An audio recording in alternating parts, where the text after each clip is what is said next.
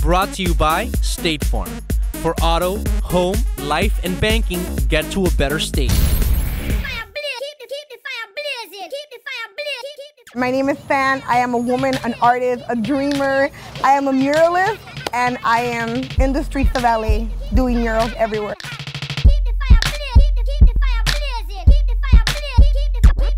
Growing up in East LA and pretty much growing up here in LA, I grew up around traditional murals, you know, cultural murals, uh, political murals, we the people, and I love those murals. But my murals, I want them to emanate happiness. I want the girl to see it and be like, oh my God, I wanna, I wanna have all this. Every girl that's, that's 23, 24, 25, 35, they understand my art and they're like, yes, like that is for us. My movement is a movement of womanhood, feminism. I mean, call me a feminist. I don't have a father. So to me, a man is not important in my life. It's always been me by myself. So in my art, that's what I show women. You don't need a man. And that is exactly why I created my winter collection.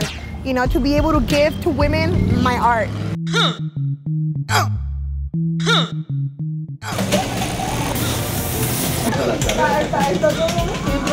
Now we're in the factory where I'm sewing my leggings. And literally what I'm doing is my artwork on garments. Not everybody can afford to buy a piece of art, but this, anybody can have it. I grew up around these areas. I grew up with my mother delivering food to all the factories here in LA. So it was so crazy when it was time for me to find a factory because it was instant. I speak the language of my people, you know, so I can go into any factory and be like, hey, I want to produce clothing. And they can look at me like I'm crazy, but they'll be like, okay, what do you want to do? Everything's gonna be introduced at Pop, which is a shop in Little Tokyo. That's gonna be my debut to everybody of my leggings.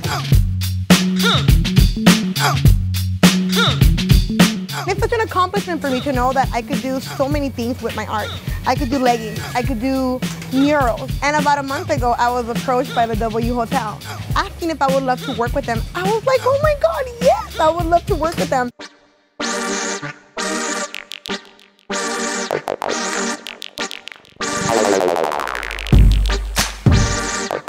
And this is my art at the W Hotel. It's so amazing, you know, like it's so meaningful for me to be able to be here. I paint in Watts, Compton, South Central, East LA. I paint in every single neighborhood. And I gotta deal with people that are angry, people that are not happy. The difference between the West Side, when you come to Beverly Hills, when you come to Westwood, people love you. I never hear, that's not art.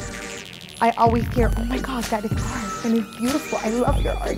And that's what I want. Like, I paint for these people, for people that appreciate my dreamer, you know, attitude, for people that appreciate my color, my brush strokes, my, you know, my creativity, my imagination. That's who I paint for. But East loves me.